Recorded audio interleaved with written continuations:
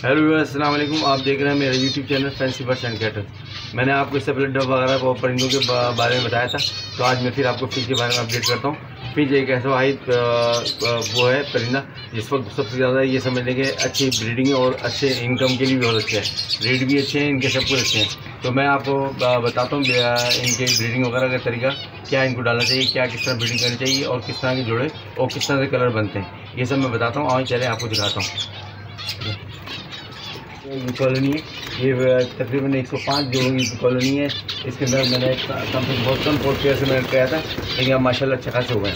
लेकिन इसमें मैंने एक वाइट भी डाले थे और ब्लैक भी डाले थे, जिसकी वजह से कंट्रास्ट बच्चे पैदा हुए और फ़ोन कलर के भी डाले थे।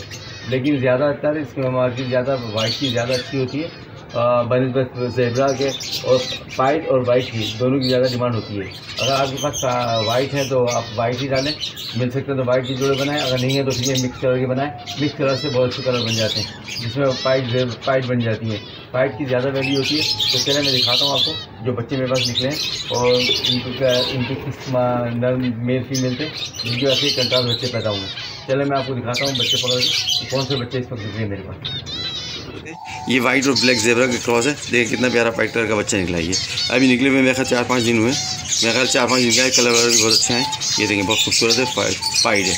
और थोड़ा जेबरा का भी कलर है। ये पाइट इसको इसको पाइट कहते हैं। ये है, ये मेरे ख्याल फीमेल ही होगी। फीमेल बनेगी। ये ब्लैक और वाइट का जोड़ा बनाया था ये। और ये ये दूसरा ये उसी का बच्चा है। साथ ही यही, ये भी उसी का बच्चा है। देखें, ये कितना खूबसूरत कलर वाइट और ब्लैक में जेबरा कलर में ये बच्चे इस तरह के बन जाते हैं। ये देखें, खूबसूरत, ये पाइट कहलाते हैं। करीब को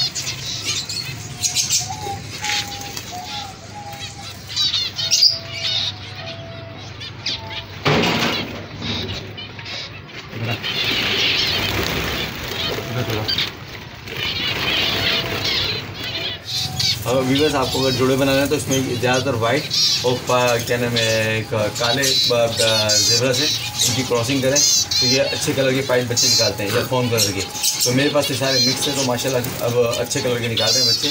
तो वाइट की और पाइप की ज़्यादा डिमांड होती है। तो आप इस चीज़ का बहुत ख्याल रखें और इनको पट्ठों से ही ब्रीडिंग करवाएँ। ये पट्ठों से ही ब्रीड अच्छे करते हैं, ज़मीन फीमेल ले लें लेकिन अच्छे लाल चौंक हों? इतने भी ब्लैक चौंक हो? तो फिर ये ब्रीड के जोड़े बनने में बहुत टाइम लगता है। और इसमें अगर फीमेल अगर ज़्यादा हो, अगर नर कम हो तो कोई बात कोई ऐसा मसला नहीं, फिर भी ब्रीड करती हैं सारी मादियाँ। अगर दस फीमेल है और सात आठ महीने है तो कोई मसला नहीं है, ये ब्रीडिंग करेंगी। सारे जो करेंगी। तो ये ब्रीडिंग है और नेस्टिंग एक ही दवा करें बार बार नेस्टिंग करेंगे मैंने बता दिया नेस्टिंग बार बार करेंगे तो नेस्टिंग जमा करके अपने अंडे दबा देती हैं बच्चों को दबाती हैं। जिससे इनके बच्चे और अंडे जो बच्चे मर जाते हैं, अंडे अंडे भी दब जाते हैं तो बच्चे नहीं निकलते। तो एक ही दफ़ा नेस्टिंग करें और अच्छे, अच्छी एक ही दफ़ा डाल के, ताकि दोबारा ब्रीड करें तो उसके बाद फिर इनके बच्चे अच्छे निकल आए तो उसमें फ़ूड पेस्ट वगैरह डाल दें, एक चीज़ पैदा ना हो। तो और बाकी खाने के अंदर मैंने बताया था आपको इनको बॉयल राइस और जो है क्या पालक के पत्ते वगैरह दीजिए इंशाल्लाह बहुत अच्छी ब्रीड करेंगे तो फ़िलहाल इससे इतना ही, मैं आपको अपने सेटअप के बारे में बताता हूँ, जो मैंने सेटअप गर्मी के लिए किस तरह अपडेट किया था, वो भी बताता हूँ मैं आपको। फ़िलहाल फ्रिजों के बारे में इतना ही मैं अपना इसके बारे में बताता हूँ किसके साथ कि ये हमने कैसा अपडेट किया अपना। चला ऐसा देखते हैं। मैंने सेटअप दोबारा सही किया, गर्मी के चक्कर में।